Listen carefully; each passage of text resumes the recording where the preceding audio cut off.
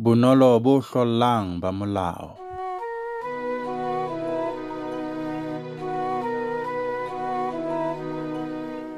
Molao wa Jehova o lokile, o kgatholosa moya.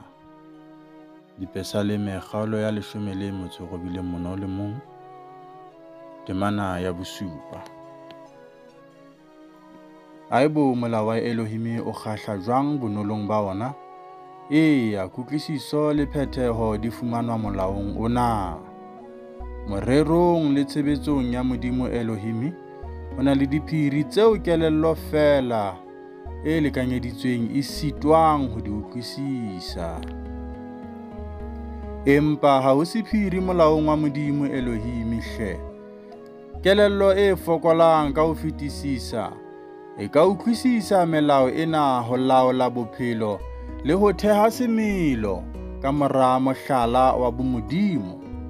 Haeba bana ba batho ba ne ba ka mamela molao ona ka hohle ka moo ba ka kgonang, ba ne ba tla fumana matla a kelello le matla a temoho ho utlwisisa haholwanyane meralo le merero ya Modimo Elohimi.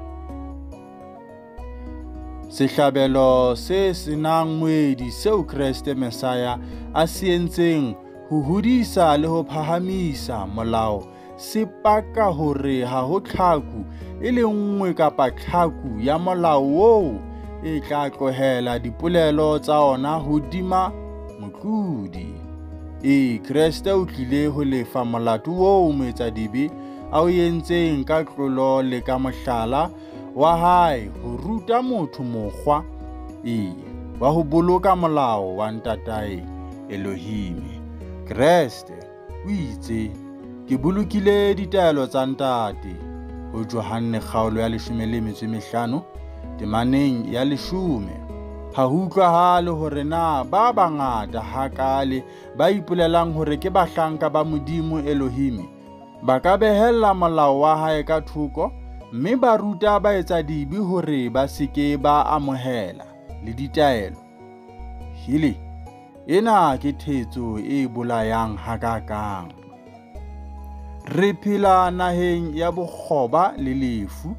Eya matshwele a entswe makgoba ke meetlo ya boetsadibi le mekgwa e mebe mme ho thata ho kgaola mahlahlela a bona bokgopo jwalo ka morwallo bo hohola lefatshe.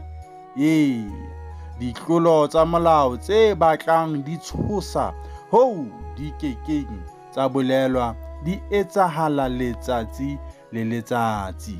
Ke a tseba re a di bona. Na re tla bolela hore se sohle ke hobane batho ba phela ka kutlo thatong ya modimo elohimi kapa ke hobane basebeletsi le batho ba tshwara le ho ruta hore melao ya ona ha ena matla a tlamang.